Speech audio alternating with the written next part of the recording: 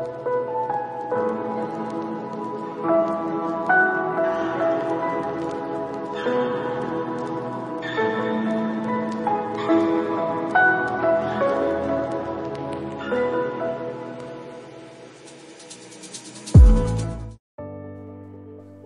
ya, uh, terima kasih atas waktunya. Kita mulai saja.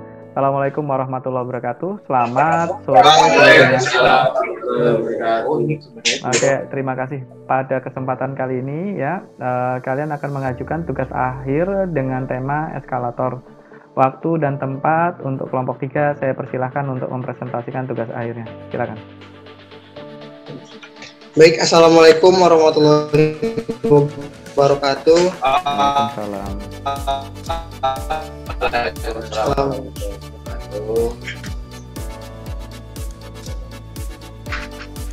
Di sini saya sebagai tugas akhir dari kelompok kami yang telah kami sepakati.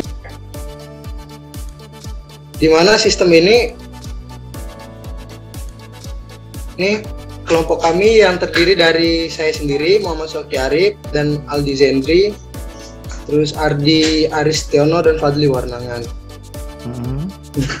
latar belakang latar belakang kami untuk berinovasi pada teknologi eskalator sendiri yaitu zaman sekarang yaitu teknologi pasti selalu berkembang dan memiliki kecanggihan semakin meningkat.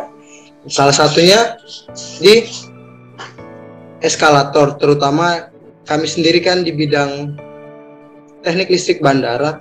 Jadi bandara itu pasti memerlukan eskalator untuk kenyamanan bagi para penumpang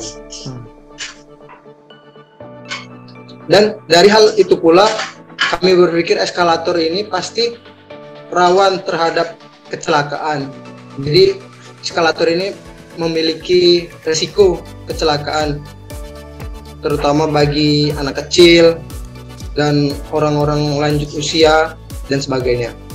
Maka daripada itu, inovasi kami yaitu mengatur sistem otomatis kecepatan eskalator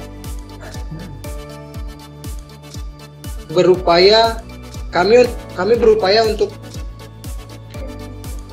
melakukan inovasi ini yaitu tujuan kami yaitu untuk mengurangi tingginya resiko kecelakaan dan untuk menghemat daya listrik pada eskalator tersebut yang di mana dalam sistem motor pasti untuk start awal motor itu memiliki daya yang sangat tinggi. Hal itulah yang mendasari kami untuk membuat TA tersebut hmm. development dan inovasi pemasangan sensor sistem otomatis kecepatan eskalator yaitu untuk mengurangi tingginya risiko kecelakaan bagi para pengguna, terkhususnya bagi disabilitas maupun lansia serta menghemat tagihan listrik, terutama pada saat ini sedang masa pandemi COVID-19 yang kita berkaca dari industri penerbangan banyak mengalami istilah banyak mengalami kerugian kerugian yang tidak menguntungkan bagi dunia penerbangan itu sendiri.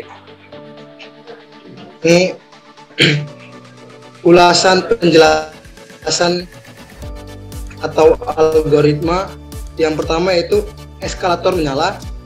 Jadi eskalatornya sudah standby menyala, tetapi kita di sini memiliki dua dua istilahnya dua mode dua dua mode di mana satunya slow dan satunya cepat. Nah, jika ada yang menggunakan eskalator, ada pengguna yang menggunakan eskalator dan dia melewati sensor gerak yang berada di bawah. Ini contohnya dari gambar kita dari sisi bawah untuk menuju ke atas. Terus jika sudah melewati eskalator, maka motor akan bergerak lebih cepat. Khususnya dalam aplikasi yaitu 10 second. Untuk estimasi waktu bagi pengguna telah sampai di atas. Istilahnya gitu. Itu untuk pengguna sendiri. Nah, jika tidak ada pengguna, maka dia melewati jika tidak ada pengguna yang melewati sensor, motor akan bergerak lambat. Nah, berbeda berbeda keadaannya jika ada pengguna satu yang lewat melewati sensor, dia akan cepat. Dalam artian dia cepat 10 second, tapi baru 8 second dia belum sampai akhir, tiba ada pengguna lain yang mau naik juga. Nah, dalam kondisi seperti ini maka sensor tersebut setelahnya dia akan mereset. Jadi dia akan menghitung kembali dari satu hingga 10. Di mana 10-nya itu orang terakhir yang melewati sensor akan sampai ke atas.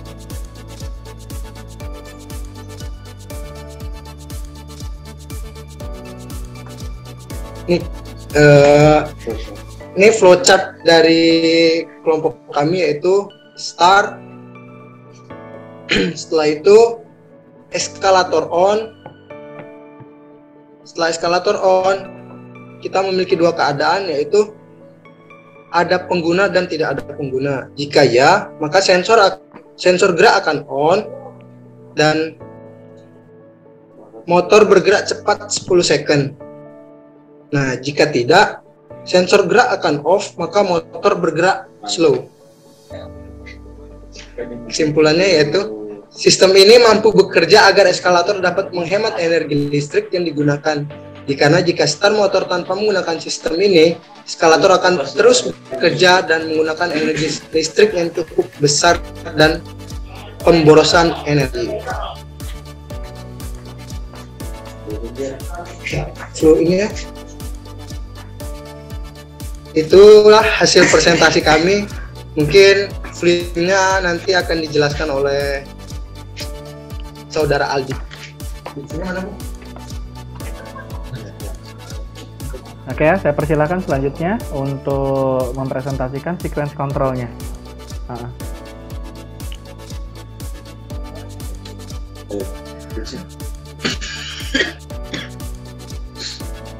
Sudah mas? Ya, sudah, sudah mas. Sudah tampil. Oke. Okay. Sudah mas. Pertama pas push buttonnya menyala. Ya. Jadi di sensor uh,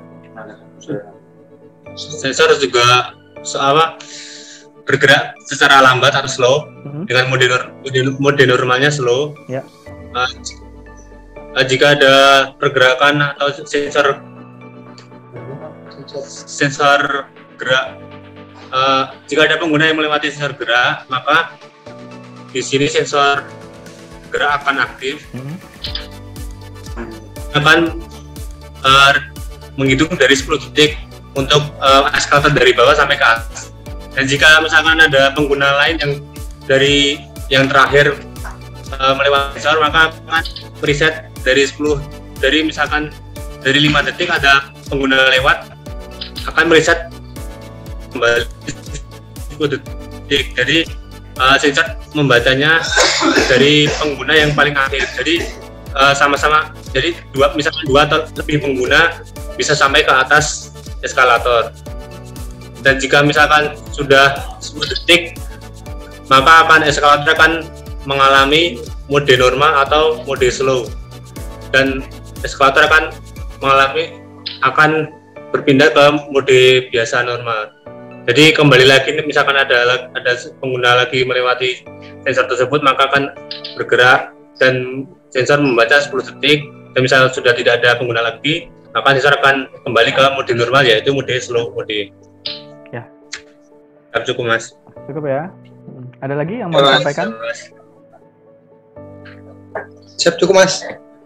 Oke okay, ya, uh, langsung saya berikan koreksi ya terhadap rangkaian ini.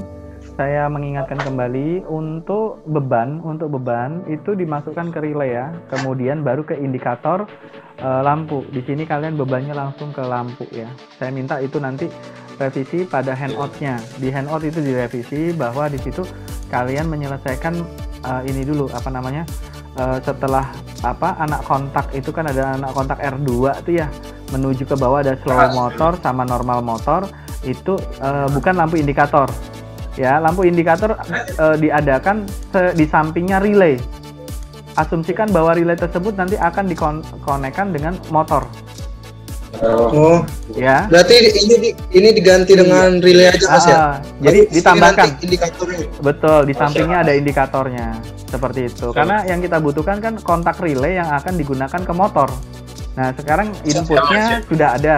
Inputnya ada berupa push button on, push button off itu sebagai running running sistemnya. Kemudian di situ ada sensor sebagai feedbacknya. Jadi ini merupakan closed loop. Pada saat kondisi awal dia itu uh, pakai uh, apa slow motor kan slow kemudian yes. uh, kecepatan yang normal tidak cepat ya lambat nah selanjutnya setelah sensor mendeteksi ada objek yang menghalangi melintas berupa ini kan berupa sensor optik ya fotosensor. Selanjutnya uh, motor akan uh, switch mode ke normal ya atau uh, lebih cepat ya dari kondisi slow tadi. Seperti itu kan? Dan ini memiliki waktu kurang lebih sekitar 10 detik menuju puncak, betul? Setelah di puncak kemudian ya. dia akan berhenti kembali ke slow motor lagi jika tidak ada objek yang menghalangi pada sensor yang ada di bawah. Seperti itu. Nah, kalau seperti itu ada baiknya kalian juga bisa menyisipkan satu modifikasi lain adalah sensor bagian bawah sama sensor bagian atas. Sensor bagian bawah sebagai uh, enable untuk speed motor kecepatan yang kedua kemudian sensor atas untuk mengembalikan kecepatan normal. Jadi kalian tidak perlu mengukur antara jarak uh, apa uh, anak lah apa anak tangga dari bawah dengan di atas berapa lama.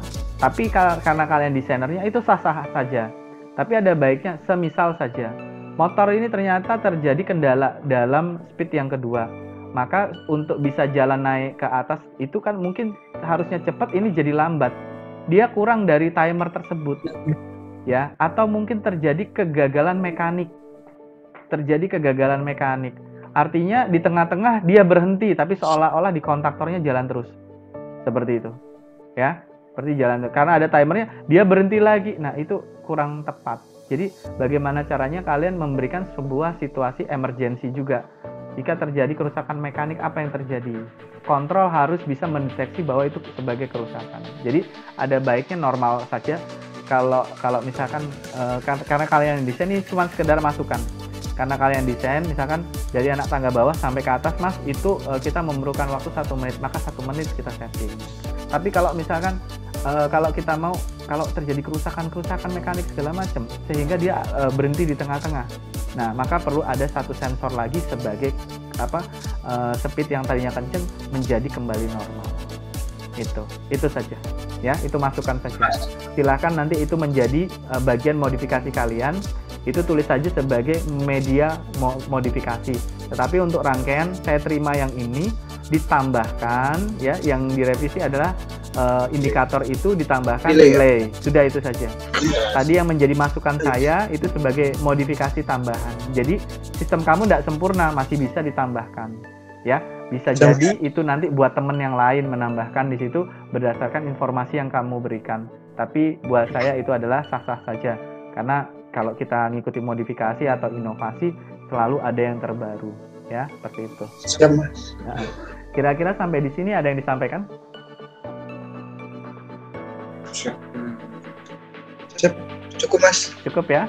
Nah oke. Okay. Izin mas nanti hmm? perbaikannya langsung via pribadi atau gimana mas? Nah, untuk perbaikannya nanti kan uh, kalian cukup di handoutnya itu aja perbaikannya ya digambar lagi kemudian Baik. sampaikan apa yang harus dimodifikasi tambahan di situ.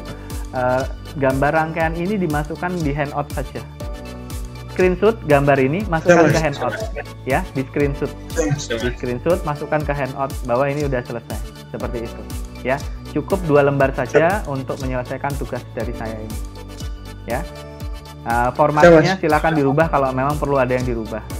Itu kalau memang oh ternyata harus tiga tiga lembar ya silahkan diatur saja. Yang penting nggak usah banyak banyak karena tugas kita juga udah cukup banyak ya. Itu. Ya mas. Uh, Sampai di sini mungkin kalian ada yang tanyakan kira-kira? Cukup. Cukup ya. Ah. Oke, okay, kalau gitu uh, terima kasih atas waktunya. Jumpa lagi pada kesempatan berikutnya ya. Wassalamualaikum warahmatullahi wabarakatuh. Selamat sore. Waalaikumsalam warahmatullahi wabarakatuh. Masih mas. Terima kasih, Mas.